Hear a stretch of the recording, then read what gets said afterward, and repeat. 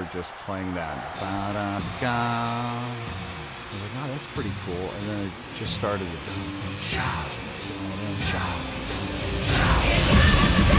Here's the thing about Nikki.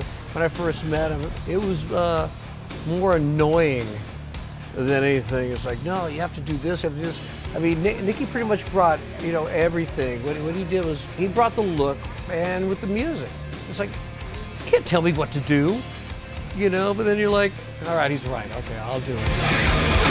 I was born Frank Feranna, named after my father, and I changed that. I'm not going to create myself in the shadow of you because you weren't there for me, so I'm going to become my own man.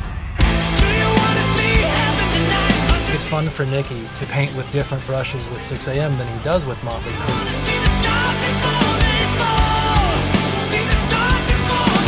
All I ever wanted to do was to be a musician, be a songwriter, be in a band. He still wants to be, you know, you know, the biggest and the baddest and the craziest. You know, I don't think he'll ever stop.